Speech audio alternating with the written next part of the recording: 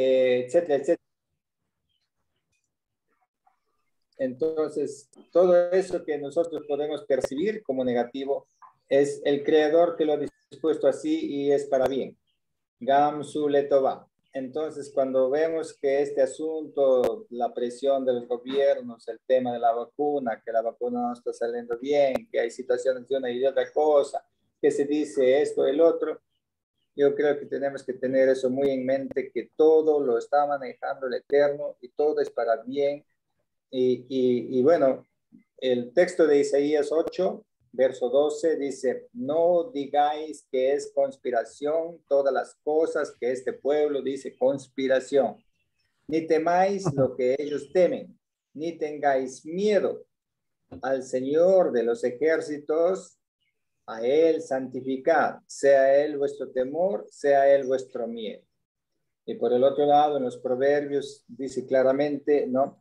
cuando uno lee Proverbios, dice eh, que lo que el impío temiere, lo que eso, le, eso le va. Eso le va a pasar. Entonces, que nos despojemos de todo miedo y que obremos siempre con mucha cautela, con mucha prudencia, pero recordando que todo lo tiene en sus manos el Creador. A mí me consuela mucho Deuteronomio 4.4 que dice, y todos ustedes que se adhirieron al Creador, todos ustedes que se, se, se, digamos, pusieron su intención con darle deleite al Creador, todos ustedes estáis vivos hoy, ¿no? El día de hoy. Y creo que de eso debemos agradecerle ahora, ah, mirando elementos del, de la parsha que ha pasado, y, ya, estar, estar alegres, estar contentos.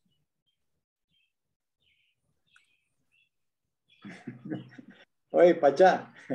¿Qué se ríen? En tu, en tu, en tu mamaca. Sí, sí, estaba escuchando. No, no, sigue ahí, sí, pero te escucho bien. bueno, es interesante que menciones eso, porque esta semana también a mi hermano justamente le estaba diciendo que es como que eh, Maybe hay it's planos, not such a big deal. Hay planos, ¿no? De, de como que de, de, realidad, hay planos de, de existence. Y, y hay cosas que en ciertos planos te afectan y en ciertos planos no te van a afectar.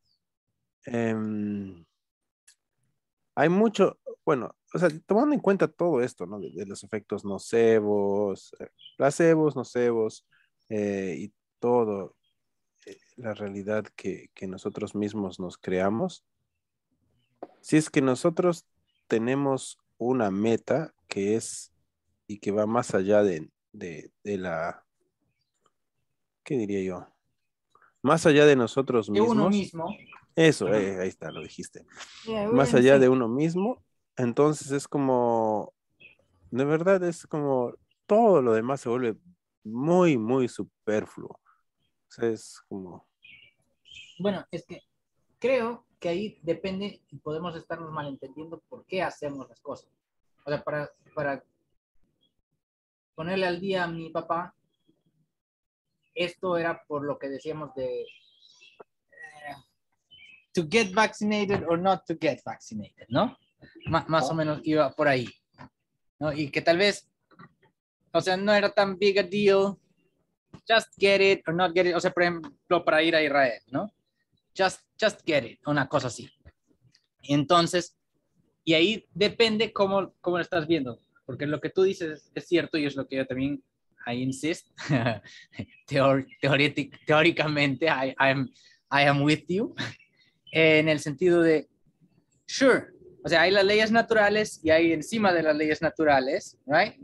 And, and it's good. O sea, como dijo, como comenzó mi papá, todo lo que, lo que pasa al final van a, va a tener un plan y es para algo, ¿no? Y si sucedió, tuvo que suceder y si no sucedió, no tuvo que suceder and it's good, ¿no? Y tenemos que confiar en eso.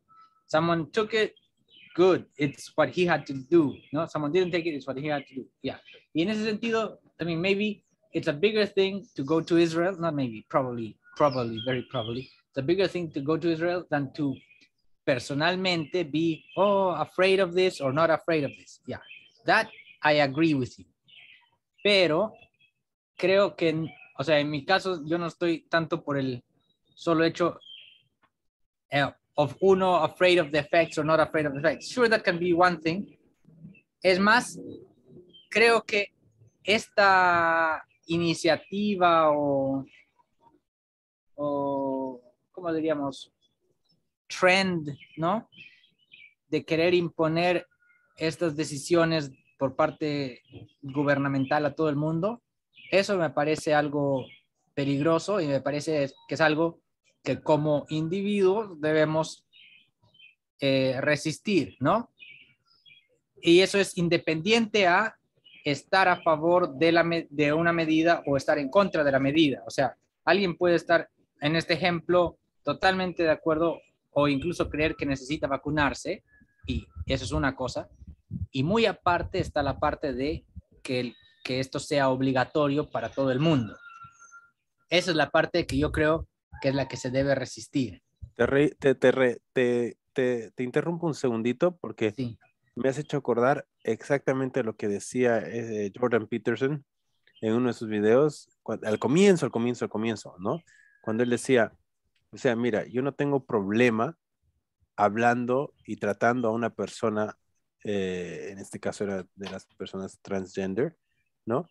Tratándola de esta forma, si es que ellos prefieren esto y que me piden que esto es lo que ellos prefieren y, yo no tengo ningún problema con decir esto pero que el gobierno me obligue a utilizar estos términos y a cambiar mi forma incluso de vocabulario para, para supuestamente no herir los sentimientos. O sea, una cosa, una persona que me está diciendo, mira, a mí en particular esto, pero de pronto el gobierno dice que por el bien de estas personas, y por cierto, ellos mismos los catalogan a todos en un solo grupo, no, eh, no distinguen nada y dicen que ellos quieren esto. ¿Quién es ellos? No les han preguntado siquiera, no hay ni siquiera un grupo eh, eh, democrático. Va a haber unos cuantos que gritan más fuerte que otros que van a decir una cosa, pero el resto no.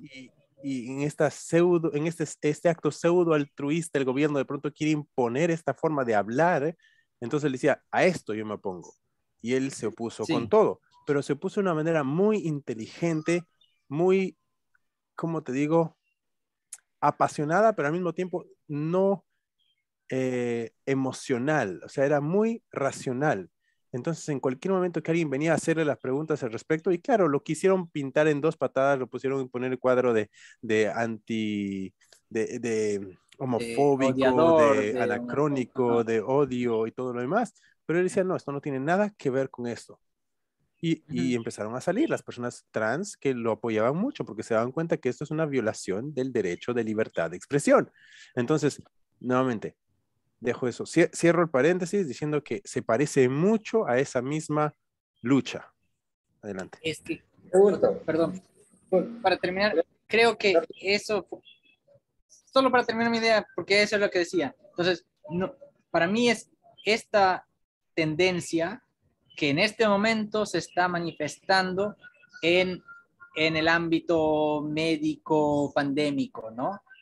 Pero unos años atrás venía con lo que tú dices y, y para mí es esto lo que se tiene que resistir, ¿no? No es tanto una cosa de que si yo tengo miedo a, unos efectos adversos o no, eso ya es cada cual que lo tome en cuenta para su decisión, pero lo que sí me parece peligroso a medida de sociedad es, es de que estemos relegando cada vez más, más y no nos van a devolver esta libertad de pensamiento, de opinión, de actuar.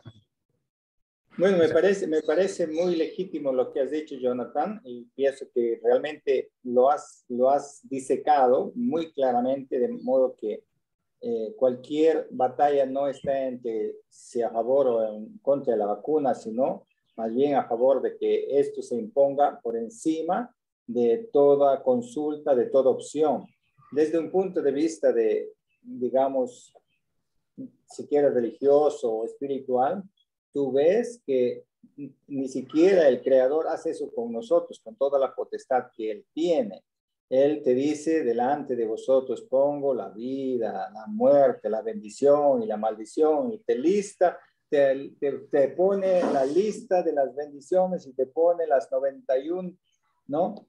Eh, tojajot que están ahí y, y que y, y, después de eso le dice, bueno, ahí tienes las dos cosas, la opción es tuya, ni siquiera, ni siquiera le impone, le da una sugerencia que solo en sus manos es una sugerencia segura, no en las manos de cualquier gobierno político o científico, y le da una sugerencia, pero la libertad de la decisión de apegarse o no al creador y seguir o no, sopesar el riesgo y el beneficio está en, el, en, la criatura. ¿Por qué va a pretender un gobierno y rogarse mayor supremacía que el hacedor en términos de estas cosas que son tan delicadas? O de cualquier cosa, ¿no? Inclusive, ahora pregunto antes de que contestes. Eh, eh, eh, Peterson tiene alguna cosa con respecto a la vacuna porque me pareció lo que dices, lo he escuchado de él, muy valiente, muy bien realmente elaborado y con muy buena manera ¿no? de, defender su posición sólidamente. Ahora, no sé si él ha, cedido con respecto a la vacuna fácilmente. En lo otro no ha cedido fácilmente, pero respecto a la vacuna no sé que si, si se ha pronunciado, porque es, es prácticamente lo mismo. Dale. yo, te, yo, te, diría, no, sé, no sé si es ceder ante la vacuna o no, porque ahí estamos perdiendo el enfoque. Okay. Eh, Ese es su, probablemente su opinión personal, él puede. Sí, sí, o sea, es que es eso. Ahorita este grupo de, de, de farmacéuticas y lo que sea ha producido algo que supuestamente ayuda o no ayuda, no sabemos. algunos dicen que sí, otros dicen que no, no importa. Una persona debe elegir si es que confío en esto, me lo pongo en buena hora o no en buena hora, lo que sea. Eso es su elección. Por eso, digo, puede que él se haya vacunado y probablemente lo ha hecho, porque he visto un video por ahí en el que está en una cafetería y todo lo demás, pero, y puede que no se pronuncie sobre esto porque este tema está ahora, esto es como que, este es el mon, la montaña en el que estos, estas potestades han decidido eh, hacer batalla real parece que incluso esas otras, esas otras eh, guerritas las cedieron, pero esta es la batalla en la que ellos no van a querer perder. Entonces, con mucha inteligencia, él también tiene que hablar, como que darle vuelta, dar, saber cómo vas a, eh, hacer tu discurso. Y él ha hecho un discurso muy similar, parecido, con respecto a, a, global, global warming y el problema environmental. ¿no? El, problema, sí, es un problema, él también dice, es un problema, tenemos un problema, es un problema muy serio, pero tenemos en el abordaje de esto un problema incluso mayor, porque en el momento en el que yo digo por el bien, por el, por el bien común y por el bien de todos, y empiezo a take away y a, eh, eh, levantar, eh, desarraigar los derechos individuales en aras de un derecho mayor colectivo, estamos empezando a jugar con fuego y es el mismo discurso que han utilizado todos los gobiernos totalitaristas. Entonces, eso también lo dice muy claramente. O sea, por eso te digo, te está diciendo qué cosas son las cosas, los indicadores de qué tenemos que tener cuidado y esto y lo otro, pero así que él haya hablado directamente con la vacuna, no sé. Pero no importa tampoco, porque Aquí va mi, tema de, divergencia, porque tiene que haber divergencia entre nosotros y no estamos simplemente dándole vueltas. Yo creo personalmente que esta batalla no la peleamos nosotros aquí. Como dice el dicho, al justo le hacen el trabajo otros. En otras palabras, nuestro trabajo queda de ser justo, en otras palabras, justificar todos estos procesos. Eh, y, número dos, van, si nosotros hacemos lo que nos es dado a nosotros, eh, eh, el nivel, el, nivel, niveles, el nivel de, de, trabajo en el que nosotros, a nosotros se nos exige, van a surgir las fuerzas en los otros niveles para contrarrestar esta movida. Porque al fin de cuentas es una movida, e, e, es un gran ego, olvidémonos de personas, es simplemente un gran ego que busca poder, busca control, busca tener este, una, bueno, dinero, de hecho también está por ahí, ¿no? Pero es control y poder. Entonces nosotros también tenemos que empezar a desarrollar nuestra capacidad de sobreponernos a esos pequeños deseos de control y, y, poder que tenemos en nosotros. Y de esa manera también estamos como que luchando de una manera interna contra esta misma, esta misma, esta misma fuerza. ¿no? Y por eso digo, donde esta lucha se pueda dar con más intensidad y más eh, verdad para cada uno de nosotros, ahí debemos estar. No sé. Adelante. Es como si tú hubieras dicho que en la, en la tarea que uno está, en la trinchera que uno está, en el campo de desempeño que uno está, tiene que hacer lo que es debido, lo que es correcto y tiene que influenciar de la manera más apropiada, con mucho amor, con mucha cautela y no simplemente con una ciega oposición, sino una oposición reflexiva, procurando siempre hacer las preguntas que sean apropiadas, ¿no? Y de repente es con las preguntas más que con las afirmaciones que despiertas en el, en, en, el, en el, oyente, despiertas en, los que son, digamos, ah, ah, convocados o, de alguna manera addressed con, con, lo que tú informas, hablas o discutes, se despierta en ellos el, pensamiento, la noción, ¿no? Y, de, lo que, de lo que es más beneficioso a todos y que va más allá de hacer prevalecer mi punto de vista, mi opinión o, o, cualquier pensamiento dogmático que haya llegado con respecto, sea la vacuna o lo que fuera, ¿no? Y creo que eso es obrar con justicia, ¿no? Primero, como, como dice el, tema en la, en la Kabbalah, que justo es el que justifica al creador. ¿Y quién justifica al creador? Es quien, quien dice, el creador está obrando lo que es justo y esto que pasa, esto que sucede es para bien y él está obrando de un modo que de alguna manera esto va a dar para bien. Y, y por eso y de veras, cuando estoy mirando el, texto de Proverbios que les cité, Proverbios 10:24, lo que el impío teme, eso le vendrá. La siguiente parte del texto dice, más a los justos les será dado lo que desean. O sea, el deseo del justo será cumplido.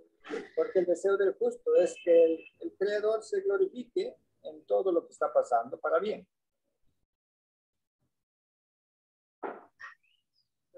Y eso obviamente se va a dar. Proverbios 10, 24.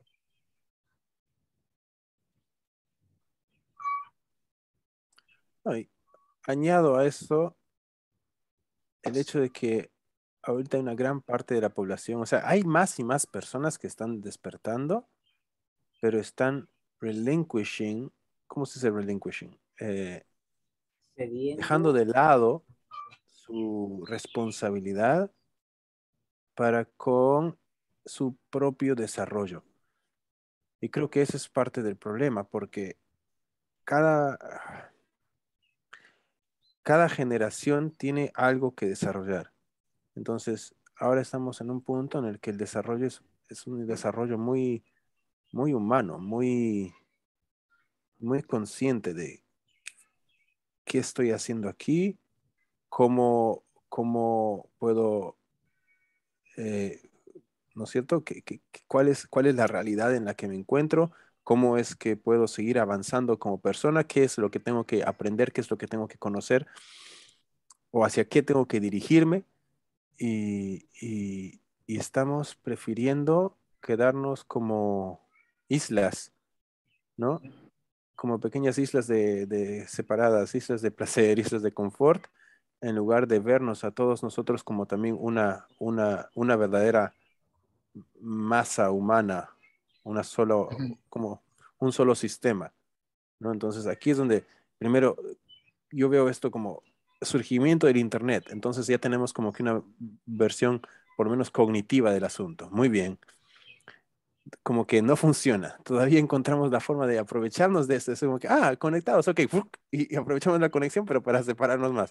Ok, entonces ahora un virus. Entonces ya estamos empezando a sentirlo más en nuestros cuerpos. Y si es que eso no funciona, o sea, si es que aún con eso no sentimos que estamos como que todos en un solo bote, en una sola idea, entonces vamos a tener que sentirlo más corporalmente. Y aquí es donde viene esta idea de que las, las, las hambrunas, que son cosas muy reales, o sea, de verdad. Estamos tan interconectados y tan perfectamente balanceados que una cosa se nos cae y, em, empiezan hambrunas de verdad, empiezan sequías de verdad, empiezan, ¿no? Problemas. Eso sin contar este, catástrofes naturales que también pueden surgir, pero eso ya no lo sentimos como algo tan directamente influenciado por nosotros. Pero lo de las hambrunas sí puede ser influenciado por nosotros. Porque a fin de cuentas, de dónde se producen las cosas, cómo se distribuyen, todo eso depende de un sistema que esté funcionando. Y si de pronto alguien en ese sistema o parte de ese sistema empieza a... Como esto de los autos ahorita, ¿no? Por ejemplo, ahorita acá en Israel hay una escasez de autos, porque Estados Unidos no le está proveyendo a China la tecnología para estos autos que China quiere hacer. Entonces China no está ¿Esa es la produciendo. versión que ustedes tienen? Esa es la versión que nosotros A ver, tenemos. A ver, cuenta tu versión. Bueno, esa es la versión que hay acá. Por eso es que acá en Israel no se pueden comprar carros. Ahora no hay Porque carros. Estados Unidos no le da a China la tecnología que necesita China. Algo así. O sea, hay, China ¿de nada. dónde hay salió algo, hay algo que tiene Estados Unidos que China requiere para la producción de sus autos. Ah, ah, era- bueno, no sé. A ver, en los Estados Unidos tenían escasez de chips para sus autos. Entonces, tienen todos los autos, pero necesitan los chips. Porque para todo el mundo, bueno, hay varias posibles explicaciones, o seguro todo ha influido un poco. Pero a ver, de lo que yo he estado entendiendo era, por un lado, hay todos estos nuevos electrodomésticos y cosas conectadas que te convienen, que son más baratos de producir, ¿no? Y más rentables de vender, ¿no? Y que hacen uso de chips. Todos están con smart home, smart luces, smart eh, tu microondas, tu olla arrocera conectada al internet, ¿no? Tu purificador de agua conectado al internet, yo no sé para qué, tu purificador de aire conectado al internet, all this. Entonces, todos los little chips que podían vender a los carros, que, que tienen ahora todo como computadoras, ¿no? Mini chips, hay una es- escasez, ¿no? Les conviene más hacer chips para estos que para autos. Entonces se quedaron sin eso. No sé si hay también hay un tema de que China no queriendo soltar muchos de esos chips para, para fastidiar a, a- a- otros productores. Pero no, no sabía que era de, tecnología que Estados Unidos no quiere liberar para China. Más China ha sido bien al revés, por decir, empresas americanas que se han ido a producir a China, ¿no? Para producir, poder producir en China, necesitan tener una, una o sea, su, su sede o conformar una empresa de ellos mismos en China, right? Y había una de cosas de machine learning, inteligencia artificial, no me acuerdo cuál es, pero había alguien que había ido a trabajar ahí en China y después los chinos simplemente, bueno, this is ours, right? Y básicamente esa empresa americana se quedó sin su planta, sin su todo el todo el Chinese branch quedó para ellos, pero pero no sé, o sea, ahí va a haber más cosas torcidas, no sé, solo me pareció chistoso que, que, que digas que a los chinos les falta una tecnología, no creo que sea que les falte ninguna tecnología, porque todo lo que todo lo que hacen en China needs to, o sea, los chinos tienen que poder ver lo que se hacen ahí. O sea, yo, yo no sé, o sea, Claro, pero no sé cuánto Bueno. se va a censurar. Solo digo, it's a very big risk, porque no sabemos qué nos, qué nos pueden estar poniendo en las, en las, en las lucecitas que se conectan al internet y todo, right? No Ok, tenemos ni idea. volvemos al mismo tema. O sea, podría ser, en vez, no de, en vez de la vacuna, podríamos estar hablando de toda esta tecnología que también nos está, puede estar haciendo quién sabe qué cosas, pero nadie le está prestando atención a eso. Pero mi punto era ese, o sea, con esta situación de los carros y China, empezamos a darnos cuenta que, o sea, sí hay una interconexión y si un gobierno u otro a esas alturas decide hacerse, decide molestar a otro, realmente empezamos con una escasez. Aquí latas de alimentos, de conservas que vienen de China, vienen de India, vienen de estos países. Entonces es, es comida, brother, es comida. Entonces, Sí, sí, pero- de- todo Solo para decir- interconectado. Ya, dale, dale. Ya, sí, pero no, no, ya. gobiernos son muy chiquitos a este punto. Ya no hay. Perdón por decir, tienes toda la razón. No, no hablemos de gobiernos. Intereses particulares de... Intereses humanos. Hay, hay un grupo muy interesante, Cargill, ¿no? Que tiene desde las flotas marítimas de, de todas partes, ¿no?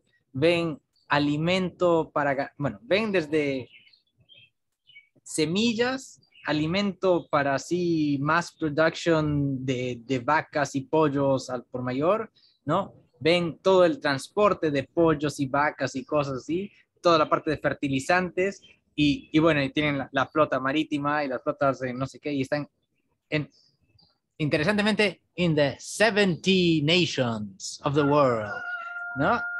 And everything. Y son gigantes y ellos también ya en 2015 hicieron sus Hunger Games, viendo qué pasa con una ruptura del, ¿cómo es? El supply chain, ¿no? Y dónde se producen las hambrunas y todo. o sea, no, no para decir que están... Los jueguitos de guerra son así. Sí, no para decir que están complotting it, pero lo están considerando y, y claro, ellos han sponsor mucho de esto porque ellos manejan todo e, el link, man. Entonces, no, no sé. Pero bueno, no importa, eso, eso es al, margen porque, como tú dices, eso es lo que quiere decir. Esa no es la batalla. Cuando mi hermano dijo, ese no es el, el, punto de batalla, no se refería necesariamente solo a esto, sino en general, en general a, a todos los temas, ¿no? No, no solo un mandate o no mandate. Eh, y, y creo, no me acuerdo qué fue la palabra, cómo lo pusiste, pero como dice Jordan Peterson, you have to clean your room, ¿no? Esa es tu tarea. You clean your room y cada uno va a tener, bueno, yo voy a interpretar esto, ¿no? Como cada uno tiene lo que está al frente suyo para, para mejorar, ¿no? El problema que, que le pusieron y, y los otros problemas o sea, tú haces el problema que tienes enfrente y los otros problemas se van a resolver por otros, ¿no? Someone will fix it. Mientras que cada uno resuelve el problema que tiene al frente, we fix it. Pero siempre creemos, ah, no, allá está el global warming. Wait, wait a second, I'm gonna fix global warming, right? Exacto. we will never fix it. no Pero exacto, esta gente, es, bueno, según todos nosotros. El, panorama que ponía eh, eh, Jordan, bueno, olvide, ah. vamos a dejar de Jordan Peterson, simplemente porque lo sientes así. Estas personas están queriendo hacerle un bien al planeta, pero su manera de hacerle bien al planeta, sea como quieras verlo, es así. Y ellos se lo están imponiendo. Y en vez de arreglar lo que ellos tienen que arreglar en ellos mismos, están, vamos a hacer el bien, el bien mayor. Y nosotros en nuestro nivel estamos haciendo lo mismo. Digo que tengo esto delante mío, pero no, tengo que, tengo que salvar a esta gente. Va a ser, este eh, está siendo oprimida. Va a ser, entonces por eso te digo, si es que realmente estamos en ese punto, como en, el que esto está delante nuestro, entonces lo tomamos y lo, lo hacemos, pero usualmente hay algo más que también, que es mucho más interno. Y eso es, que, eso es lo que tenemos que considerar en lo que tenemos que trabajar y esto va a repercutir, o sea, tiene que, es parte de las leyes de todo esto, de nuestra reality, va a repercutir en lo demás. Ahora, puedo, un cuentito rápido del, del Baal Shem Tov que justo leyeron ayer, ¿no? No, podría tener algo, o sea, yo pienso que tiene algo que ver, puede, no, pero ahí va, lo vamos a hacer encajar. Ah, este hombre, había un hombre rico que estudiaba Torah, tenía todo, fue a ver al Baal porque había escuchado de él, ¿no? Ya habla, le va a dar un poco de tzedakah, el Baal le dice, bueno, me estás dando tzedakah, dime qué necesitas para darte una bendición o algo, y él dice, no, no, bueno, tengo, básicamente le dijo, tengo todo, ¿no? Y ahí el Baal le cuenta esta historia de dos amigos que habían vivido juntos, se separaron, uno se hizo muy rico y el otro se empobreció y se acordó, ah, tengo este amigo que es muy rico, voy a visitarlo, fue, le pidió plata, el amigo rico le ayudó, ¿no? Le dio la mitad de su fortuna, el hombre pobre, el amigo pobre regresa, con eso se hace rico, gira la vuelta, ¿no? Da vuelta al, destino, el, el que era rico se empobrece y dice, ah, bueno, yo tengo este amigo que, hace, que ahora escucho que es muy wealthy, ¿no? Y yo le ayudé en el pasado, voy a ir a que me ayude, voy a pedirle ayuda y este se negó, no le quiso dar nada, ¿no? Entonces, vuelve y otra vez como que él la, sufre, se recupera, vuelve a ser rico, el, el amigo, vamos a llamarlo ya, el amigo malo, el mal amigo, se vuelve a empobrecer y dice, bueno, tal vez puedo volverle a pedir plata a este amigo, ¿no? Que me ayudó la primera vez y le voy a pedir y el amigo bueno le dice, bueno, mira, te voy a, te, te presto de todas maneras, obviamente, pero vamos a hacer esto, te hago un contrato, ¿no? Que te estoy prestando la plata, entonces la próxima que yo necesite, tú me devuelves lo que yo te presté, ¿no? Ya no te estoy obsequiando. Ok, ok, se vuelve a empobrecer el, el, el, el, buen, el amigo bueno y va a pedirle su plata al amigo malo, el amigo malo le niega, no le hace juicio, todo, no le paga nada. Al final, los dos mueren, ¿no? Uno pobre y otro rico, los dos mueren y, y les dicen como que uno le dan la opción de ir al Gan Eden y el otro al, infierno. Y el amigo, bueno, dice, no, yo no puedo, ¿cómo disfruto yo del Gan Eden sabiendo que mi amigo va a estar en el, en el infierno? Bueno, bueno, hay otra solución. Los dos vuelven a la tierra, ¿no? Y tú, buen amigo, vas a ser pobre y este mal amigo va a ser, ser rico y tú vas a, o sea, vas a ir a pedirle plata a, a este amigo y si él te devuelve, si él, si él te ayuda, se corrige, ¿no? Y llegan a esta encarnación otra vez. Este, o sea, es tan buen amigo que, que decide sufrirla todo de nuevo y ser pobre y todo. Y va otra vez, como el destino ya está todo preparado, va mendigando y cae en la puerta de este hombre rico, ¿no? Que tenía todo y le pide plata y él le niega la plata, ¿no? Y en la historia, él le cachetea y, bueno, vuelve y muere, ¿no? Muere. Y ahora el, el hombre a quien Baal le estaba contando la historia, cuando escucha eso, se desmaya porque él acababa de cachetear o sea, él era un hombre rico, había tenido todo, no le faltaba nada y él acababa de cachetear a un pobre que se murió, ¿no? Por no darle plata. Y ahí decía, pues, o sea, a esta persona solo le faltaba corregir esta una eh, trait, ¿no? Su avaricia, su mezquindad. Entonces, todo lo demás lo tiene resuelto, no, no le es ningún problema, porque él ha venido al mundo solo a, a, a restaurar, a corregir esta una cosa, ¿no?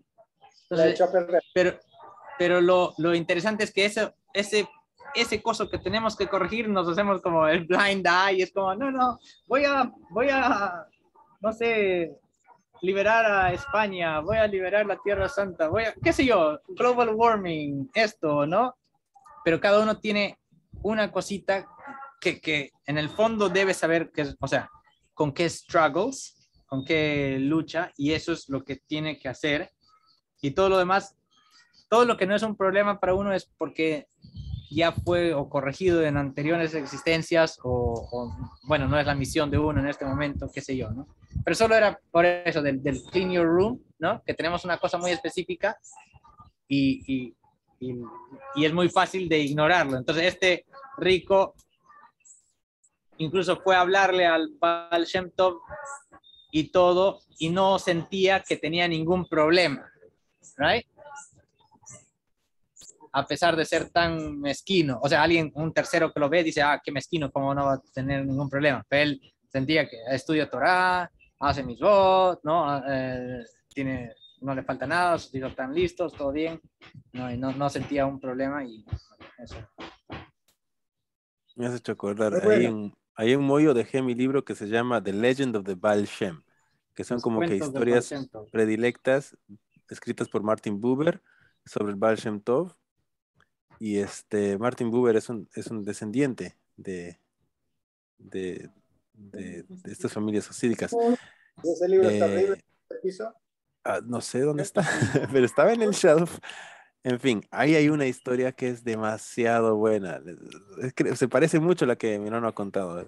Encuéntrenla y así les hace llorar porque es como que, ah, man, wow. O sea, el, el, porque la sientes, te das cuenta cómo es que nosotros también hacemos esa, esa misma eh, eh, blind eye, como decía mi hermano. O sea, es como que de la vista gorda al mismo problema de nuevo y de nuevo y de nuevo. Y es algo que Wow. Dios nos libre y nos permita ver lo que tenemos que arreglar. Ay, pero por eso tenemos nuestro espejo. Esa es la importancia de tener. Claro, nuestros espejos son el que nos molesta al frente. Exacto. Ya se pasa el espejo, Jonathan, te está diciendo. Sí, pero a ti no te gusta el espejo. No, vea, eh, a mí me gusta el estos espejo, manes, estos No manes de pero me gusta mi espejo. Los manes artistas en, que están en no sé dónde en Washington, que Da- David La Rosa me compartió, que a veces le comparto a mi mamá, eh, Alex Gray y su esposa, no me acuerdo cómo se llaman, y que hacen, y que hicieron su, bueno, se registraron como iglesia porque recibes tax free exemptions, no sé qué otras cosas, ¿no? ¿Ya? Y ellos han hecho su Church of the Sacred Mirrors. Y, y ese es todo el concepto detrás de eso. O sea, we're all mirrors into each other, ¿no? Y es como esta gran conciencia. Cuando es su arte, es como, porque, bueno, para ellos es como el artist está tratando de revelar algo divino al, al, al común y corriente, ¿no? Eh, es- Él, él, él ve el art como, como así, tipo profetas, que tienes que enseñar algo que tú has visto, ¿no? Y bueno, y, y me pareció interesante porque todo el concepto detrás es el Church of the Sacred Mirrors y era eso, de, de ser mirrors into el big consciousness, ¿no? Sí. Y así no nos atascamos. Bueno, el, el- el- el- el espejo está ahí para que nos muestre. Puede ser un libro, puede ser tu esposa, puede ser tu prójimo, tu amigo en la decena, etcétera. Y, y ya. Y también la circunstancia que estás viviendo, pasando, puede ser un reflejo, digamos, no exacto, pero un reflejo de, de, de lo que tú estás siendo. Pero me gusta mucho la historia porque aunque se refiere a dinero, la historia de Washington puede, puede realmente aplicarse a muchas otras cosas, hábitos, actitudes, gustos, deseos que de alguna manera tienen que ser corregidos.